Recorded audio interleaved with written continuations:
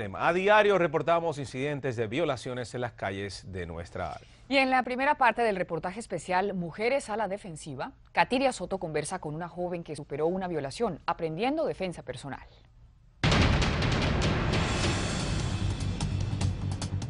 Una de cada cinco mujeres podría experimentar algo parecido a esto durante un ataque sexual en algún punto de su vida.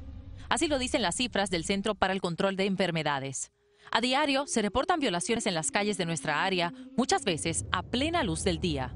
La pregunta obligatoria es cómo defenderse en una situación de esta naturaleza.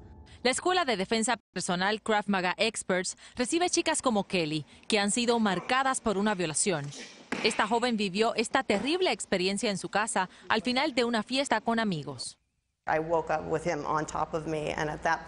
Me desperté y tenía al hombre encima de mí y en ese punto no podía pensar cómo escaparme porque era más fuerte y más grande que yo.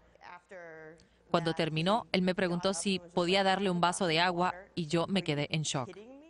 Luego de dos años sin poder hablar de lo que había vivido, Kelly se interesó por este sistema creado por el ejército israelí.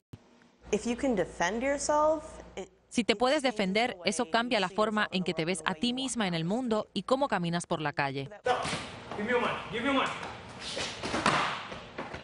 Un experto en seguridad nos dice que el primer paso es la prevención. Que cuando están andando en la calle, tienen que estar pendientes de todo lo que está pasando alrededor de ellos.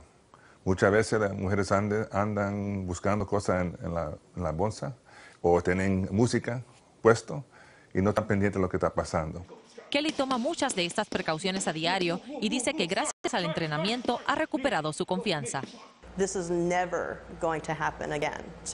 Siento que esto nunca va a pasarme de nuevo porque ahora puedo defenderme y estoy aprendiendo más cada día. En la segunda parte de este reportaje le mostramos algunas técnicas de defensa y aplicaciones tecnológicas que podrían salvar su vida.